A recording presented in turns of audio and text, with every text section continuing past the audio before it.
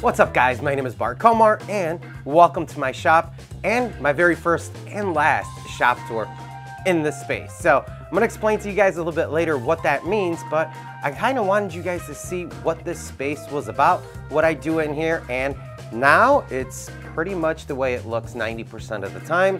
I just finished up a couple of projects and we need to get it cleaned up so we can do a proper shop tour and let you guys see all the tools that I work with and how I came about getting all these tools because I'm a firm believer in not buying brand new tools. So right now, this is my shop and let's get going. So welcome to the Komar project or welcome to the Komar shop.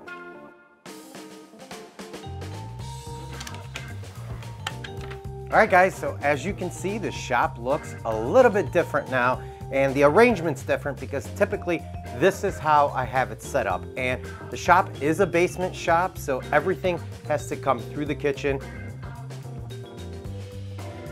And this shop is 12 and a half feet wide by 40 feet long. So if you can imagine just a long, wide hallway, that's my shop. And right in the middle of it is my assembly table and my table saw. This saw is a Ridgid TS2412 and I picked this thing up on Craigslist for 100 bucks. It was covered with rust all over and I probably spent a day restoring this thing and for what it is right now, it works great. But I could always use more power. On the right side of the saw, I have a storage cabinet that I built and it keeps a lot of my jigs, some of my push sticks, and a whole lot of tape in here. Because every woodworker needs tape, a lot of it. In front of the saw is my assembly slash outfeed table. And this table has seen its share of work and abuse. I actually found this thing in the trash. Somebody left it by a dumpster and I swooped it up and picked it up. So it was free. And the great thing about it was, is it had a vise inside of it. I opened up the drawer and sure enough, there was a vise that I use all the time now. And this table does have height adjustable legs. There's a couple of bolts underneath that when you turn them, it'll actually lower or raise the table for you, which worked out really great because then I was able to adjust it to my table saw. Behind me is probably my favorite thing that I've actually built in this shop, and that's my hand tool wall. It has basically everything that I need at an arm's reach when I'm working at the assembly table. I have all of my Stanley hand planes from number two to number seven. I'm missing a one and an eight, so if somebody wants to send me a couple of hand planes, by all means, I wouldn't say no. I also have my hammers, all of my measuring tools, my screwdrivers, my chisels, and all the other specialty hand planes that I use from time to time. Now I don't get to use hand planes that often, but when I do, it's an absolute joy to work with all this stuff. Right below the tool wall, I have this cabinet, which actually came with my assembly table. This was also free and in the trash. And inside here, I have some sharpening stuff, some odds and ends that I kind of keep around. I keep all of my cases for all my tools, and I keep my track saw in here. But more importantly, this is where I put all of my stickers from all the other makers in the community. So if you have a sticker, reach out to me. I would love to put it on my little old, cheap, free workbench. Next to the sticker cabinet is an old IKEA cabinet. I keep my gloves in here. I have spare hinges in here. All of my fasteners are here in organizers. I have this awesome Wilton vise. It was 30 bucks on Craigslist. Drill charging station and all of my drills sitting on a wine rack because we were gonna throw it out and I figured why not have all my drills displayed beautifully. Most of these drills I got on Craigslist for under 50 bucks except for the Bosch. I ended up buying this drill driver set, which was $100 for both, and I absolutely love these things. It's 12 volt, and they have more than enough power to push everything that I need in this shop. Next to that, we have a metal cabinet that I got for, I think 30 bucks online. It was either Craigslist or Facebook. And this houses all of my finishing chemicals. So like your mineral spirits, your stains, your lacquers, things of that nature. Up above it is a plywood cabinet that houses all of my sandpaper for my five inch orbital. And it's really cool because all of my grits are separated so I can just come over here, grab what I need, and get back to work. Next, we have probably my favorite thing to work on. And this is a 1800s workbench that I did a video on. I did a full restoration on this thing. If you guys wanna check it out, there's a link in the description, but I love working on this thing. I don't get to do it as much as I want to, but when I do, it's an awesome experience because of its age. It's not because it's very well built. It is very light and it's got a wiggle to it, but the history behind this thing gives me some nostalgia about it and makes me enjoy the work a lot more. I'm probably gonna end up using this thing as a desk in our office at some point and build a Roubo split bench.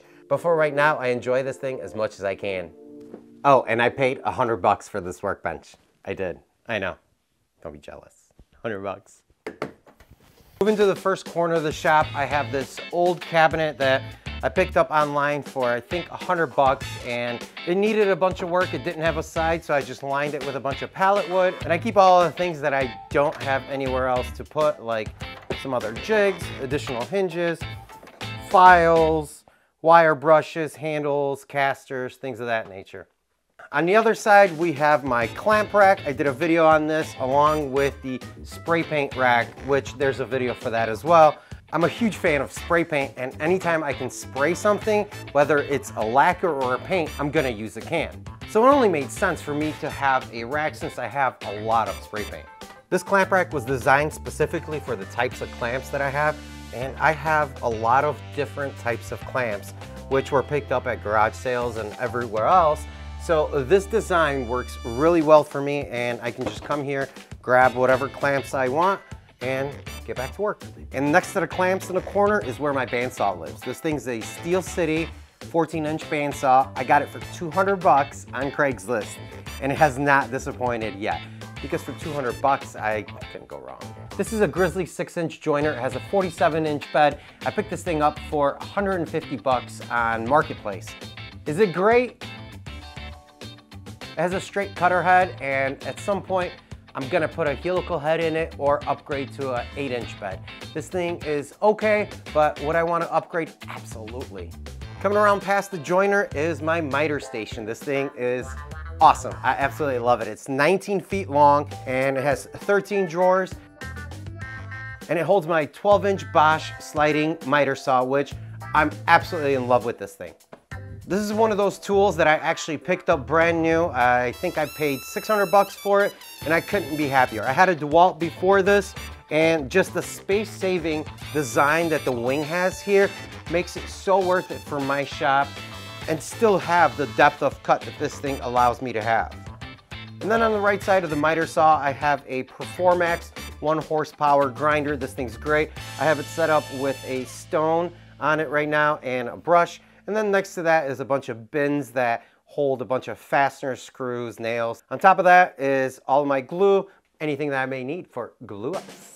Catch-all area, my electronics, and unfinished project area. So this is where everything gets dumped basically. I have a bunch of router bits back here, some extra microphones. All my charging stuff happens pretty much right here for the camera. All unfinished projects go here that need to get done. Yeah, so anything that doesn't have a home and is small is probably gonna go right here.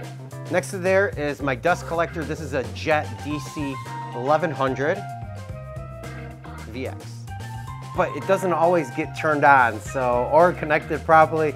So there's always gonna be a lot of dust in this shop and shavings on the floor. But it is a great dust collector when it's on. Next to the dust collector is my Delta drill press and a one inch belt sander. I have no idea what brand this is. I got it from 20 bucks from my neighbor and this thing was 50 bucks at a garage sale. Works awesome, no complaints right now. It's a bench top and maybe one day we'll upgrade to something bigger and fancier, I guess. But for right now, this works well. Moving over to the last corner of the shop is where I have my planing and sanding machines. So this is an oscillating sander by WEN. This was a Christmas present, so it was free. And then three days after that, a buddy of mine gave me this Ryobi, which was also free. So I have one set up with a drum and one with a belt on it. Next to that is my DeWalt DW 735 planer. It's an absolute beast. I cannot be happier with this thing. I had an old Delta before this thing and it doesn't even compare. The finish that you get from this thing, even with a straight cutter head, is incredible compared to the old machine.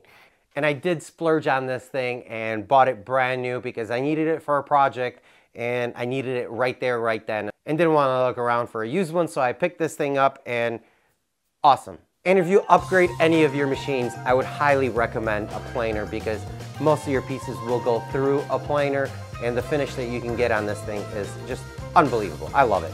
Above the sanders is another wood storage area. This is a lumber rack and it holds everything from long pieces of plywood to a bunch of hardwoods that I end up keeping and even some dimensional lumber up here.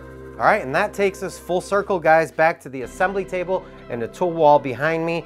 And this is the Komar shop, at least for another 30 minutes because as soon as this video's over, I'm gonna start packing this shop up and moving to a new one. Um, we just purchased a home on two and a half acres, about 30 minutes north of here. And the plan for the shop is temporarily, I'm gonna be in a three car garage this year until we can put an addition on the house. And then after that's done, we're gonna be building a brand new workshop space for me, which I'm extremely excited because it's gonna have at least 1,000 square feet, potentially two story, It's gonna have a metal shop area and a wood shop. So I'm very excited about it. But yeah, this is it for this shop. That's crazy.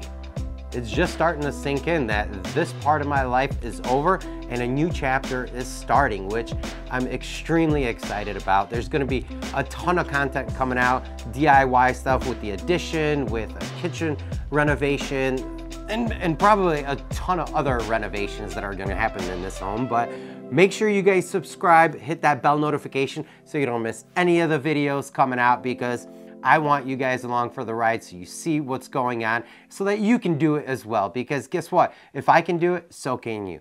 Thank you so much for joining me on this experience in this shop. I can't wait to show you guys what's next and I'll see you guys next time. Well, it's official. We just bought a house. Yeah. So we're going there right now. We'll show you guys the house and where the shop's gonna be and everything. So